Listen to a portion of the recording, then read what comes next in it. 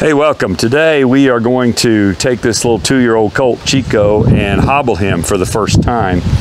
So we've been out here for probably 40 minutes working him and giving him a couple breaks, and so I think he's ready for this. And this is Richard, my intern. I'm gonna have Richard do the work, and I'm just gonna coach him. Once we get started here, I'll step behind the camera. Um, so Richard, the first thing I want you to do, which we've done with him before, is I want you to put the lead rope around each one of his legs and just gently and lead him from all four legs just a little bit. So this is kind of a review for him. Uh, it's probably been, I don't know, four or five days since we did this particular thing. So you're gonna put it around his leg and get him to kind of follow you just a little bit. There you go okay?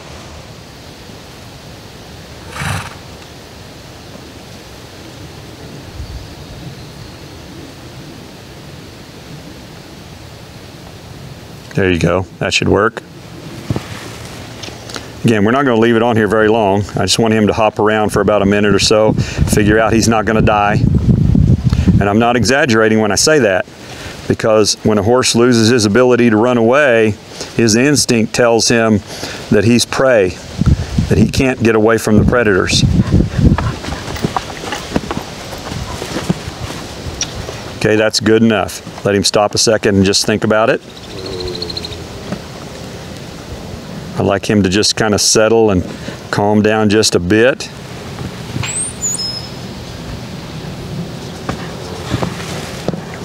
Let's see if he'll just settle and be okay.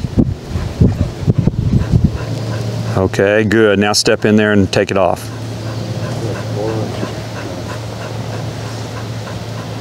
Good. Take it off, put it on the other leg.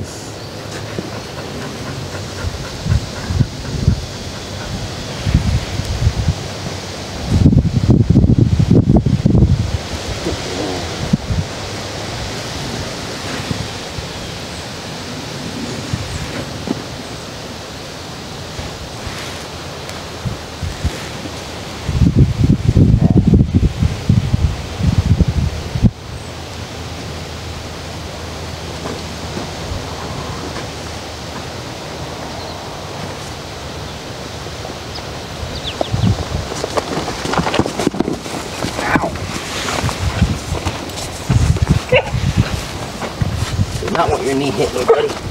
Stay, yeah, stay safe. Don't get in a place where you're going to get hurt. Stay out of his way. So see, he's in a panic mode right there. That's one reason we do this.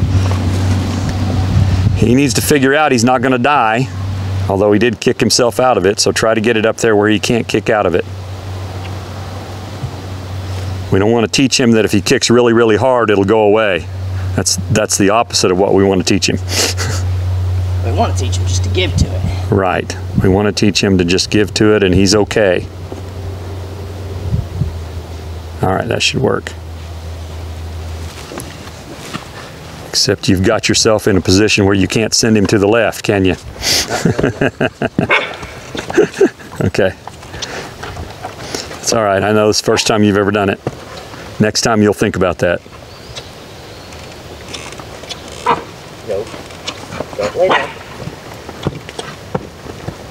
Good. Good, that's pretty good. All right, let him stop a second. Just let him think about it. Let him think about what's going on. Folks, this is really valuable stuff. Okay. We're getting into this horse's mind. We're not hurting him in any way. There's zero pain involved in here, but it is very stressful, and that's part of the whole thing. He needs to be able to handle stress and realize he's not going to die if something happens that he doesn't know what to do. And if he'll look to us, we'll help him. Okay?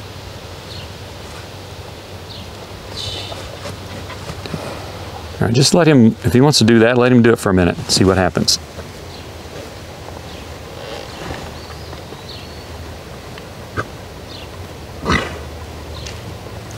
Most horses don't do that. Most of them don't lay down.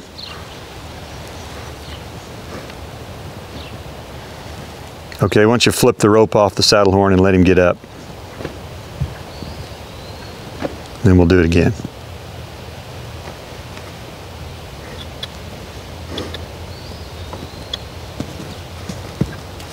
Yeah. Okay, this time get him out here where you can send him to the left once you get his foot up.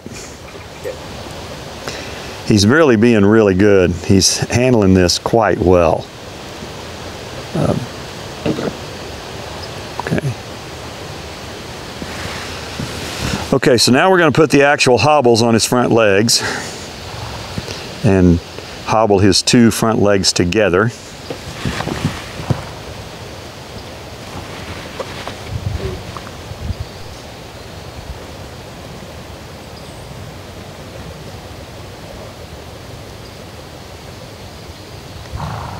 So these are cotton hobbles, they're real soft.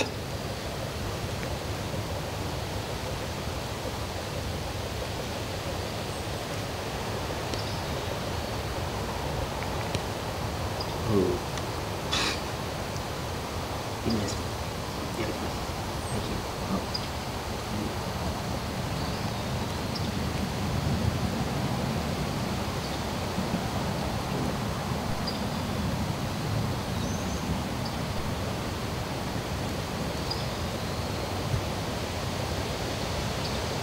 Okay. The only thing that I, I, I should have instructed you not to do was to bend down in front of him there. Okay. And I, I, I missed that uh, because if a horse were to strike, we'd be having a funeral for you.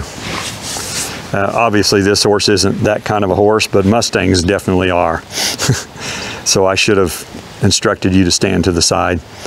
Okay, so he's kind of figured that out. You can just gently ask him to step forward, get out of his way, to the side. Stay out of the way. Stay out of the way. And that's what most horses typically do. Okay. Now that's fine. If he doesn't want to move, he doesn't have to. Uh, I just want him to figure out that he's restricted there. Okay, see him licking his lips, which means he got really stressed out and now he's kind of calming down. So just drop that rope and walk away there, Richard. Okay.